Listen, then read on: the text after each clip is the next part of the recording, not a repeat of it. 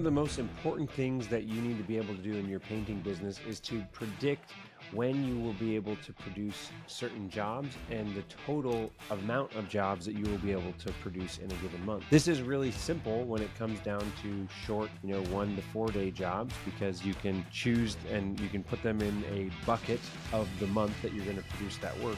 But when these are long projects that extend 30, 40, 50, 60, 90 days or more, it's really critical to be able to predict what volume or what amount of revenue am I actually producing from this 100,000 or $400,000 job because it's so spread out. So in this video, I want to dive into the way that I suggest managing these multi-month projects inside of Airtable for a painting company. So if that's of interest, stick around because that's what we're going to be talking about.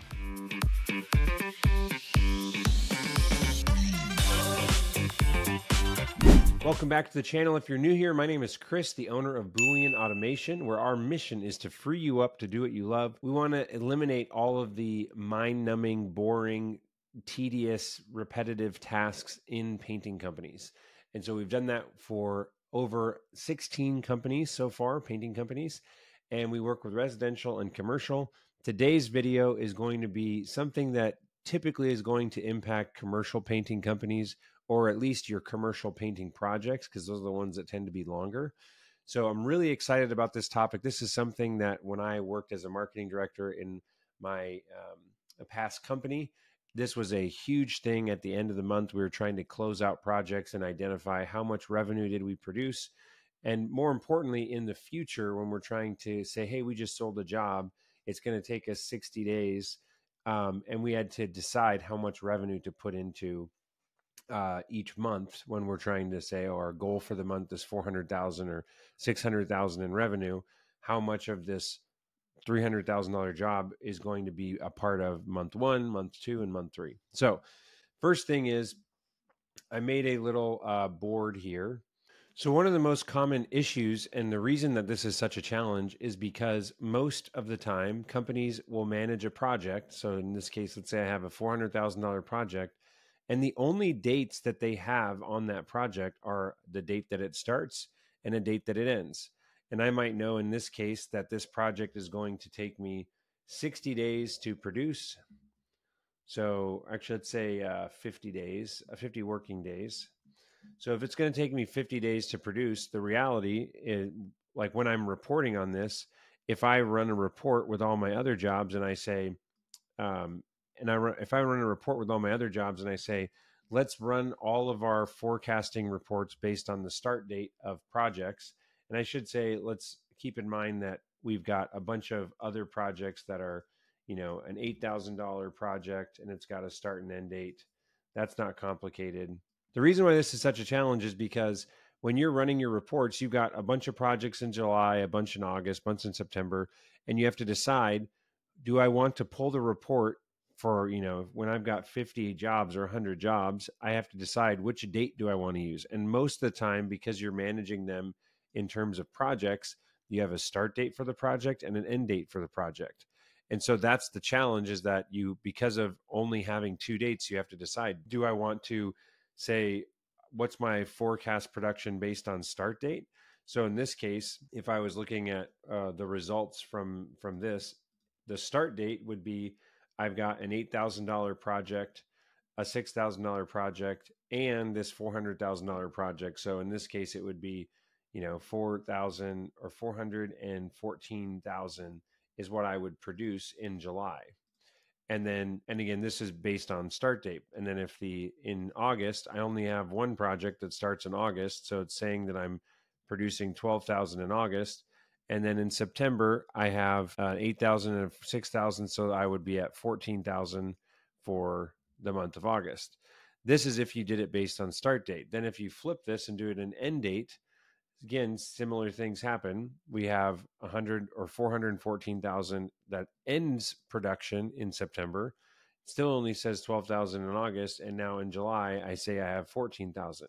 But the reality is that you probably have a good chunk uh, of this project is happening in July. So let's say that this is more like 54,000, you know, and maybe in August, I'm doing 250,000 of that. And then in September, I've got 70,000, whatever the, the number is. But you get the point is that the revenue needs to be split up in a better way. So, what I've come up with is think about it as if so, projects are your total scope, and events are the things that you schedule.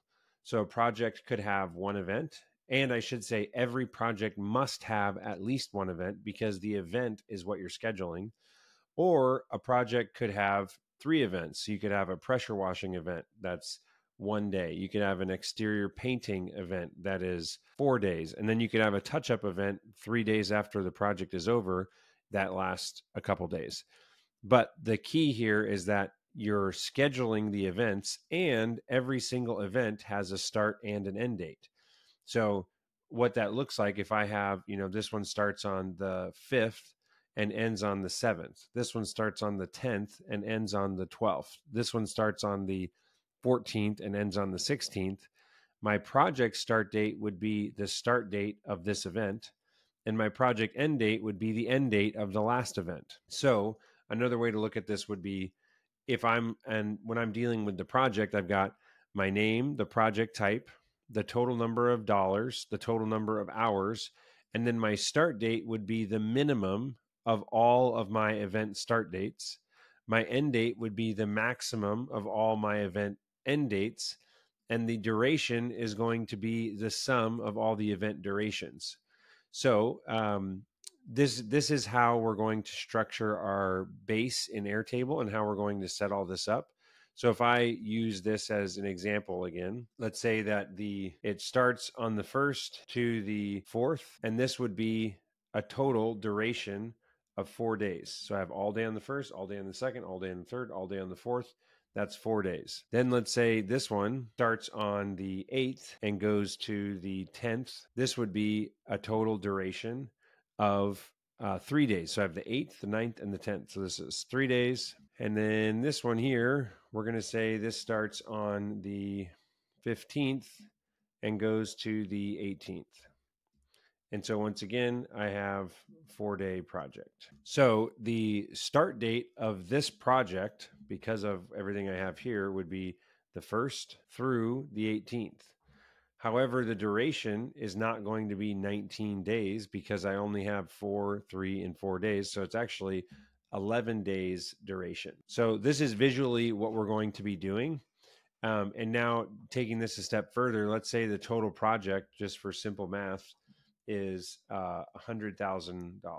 So now the ideal way to figure out how much revenue was produced in each one of these events would be by saying if this event was four days and this one was three days and this one was four days, the total number of days was 11. So in this month or in this particular event, which could happen in the same month or not, I would do $100,000 of revenue multiplied by four days divided by 11 days. And that would equal event revenue. So that's how I think about this is that the to- the correct amount here is the ratio of the number of days that this project happened divided by the total number of project days in the event. And then same thing for if I want to do hours, let's say that this is a thousand hour project. So we'll say a thousand hours. Then I would do the same thing here and say it would be a thousand hours times four divided by 11 equals my event hours. So we're trying to predict how much revenue and hours we're doing in a given event or rolling it up to a month. This is the way that you want to think about it. Um, so if this is making sense so far, awesome. Leave a comment down below. What do you like? What do you not like? Questions you have. I'm going to dive into this topic in the next video and actually show you how to break this down and set this up in your base so that you have projects with events and each event has the ability to be in a different month but all roll up to the same project when you're trying to run reports. Thank you so much for watching. We'll see you in the next video where I dive into actually setting this up inside of Airtable.